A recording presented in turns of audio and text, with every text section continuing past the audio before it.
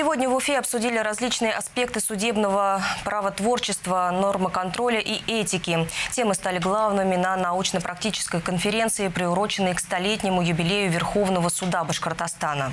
Свою историю он ведет с 1920 года, когда был образован Совет народных судей автономной Башкирской Советской Республики. Через два года его преобразовали в Башкирский областной суд, а в 1923 году в Главный суд Башкирской АССР.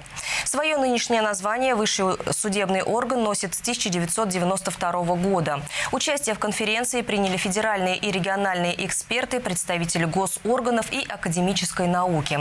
Так, судья Верховного суда России Александр Червоткин отметил высокое качество работы судебной системы республики.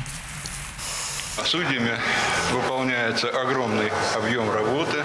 Суды республики, мировые судьи, федеральные судьи районных судов самого Верховного суда Республики Башкортостан рассматривают очень большое количество дел, стоят на защите прав жителей, граждан республики.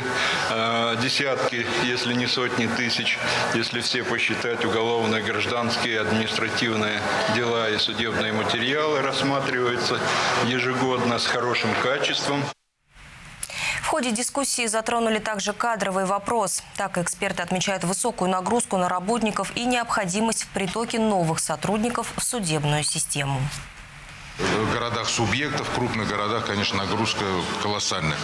И при этом хотел бы еще, знаете, сказать, вот э, мы развиваем информационные технологии, но их развитие не влечет автоматическое уменьшение нагрузки на аппарат. Наоборот. Вот, например, взаимодействие с средствами массовой информации, размещение судебных актов э, в сети интернета. Это, привлекло, при, это дало не только освобождение э, наших человеческих ресурсов, людских ресурсов внутри суда. Наоборот, мы вынуждены привлекать, привлекать и привлекать сотрудников участников уже другого направления. Мероприятия, посвященные юбилею Верховного суда республики, продолжаются. В эти минуты открывается торжественное собрание с участием руководителей исполнительной и законодательной власти региона, судей Верховного суда России. Также будут вручены государственные и ведомственные награды.